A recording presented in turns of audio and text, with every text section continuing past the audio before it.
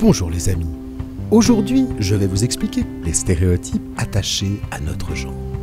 Prenons par exemple une maman, que nous appellerons Julie. Prenons ensuite un enfant. Non, un petit enfant. Parfait. Nous appellerons cet enfant Théodule. Très bien. Nous l'appellerons Théo. Théo a les cheveux blonds. Et il aime jouer avec des poupées. Mais Martine, une amie de Julie, intervient.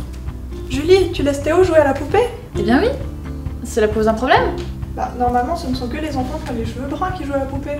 Tu veux donc dire que ce sont les attributs physiques qui déterminent les goûts de mes enfants? Et c'est encore pire que cela, car les goûts d'un enfant peuvent influencer directement son physique. Si tu le laisses continuer à jouer à la poupée, il risque d'avoir les cheveux qui brunissent. Mais où est le problème? Ça lui irait bien des cheveux bruns Aucune femme ne voudrait s'engager avec une personne blonde qui a les cheveux qui ont bruni. Ah non, mais qu'est-ce que je peux faire? Heureusement, il y a une solution pour sauver le fils de Julie.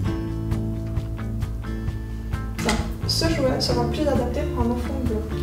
Tu veux donc dire que ce banal jouet déterminera la couleur des cheveux, mais aussi l'avenir de mon enfant? Théo, tu veux bien me donner ta poupée? Mais je l'aime ma poupée. Oui, mais Théo, les petits enfants blonds comme toi préfèrent jouer avec des petits camions ou des petites voitures. Regarde celle-ci comme elle est belle. Elle est moche ta voiture. Donne-moi ta poupée. Prends-moi ma poupée. Théo, les enfants blonds comme toi ne pleurent pas, voyons. Mais oui, Théo, c'est pour ton bien. Ce serait dommage que tes cheveux brunissent. Et voilà comment sauver l'avenir de votre enfant.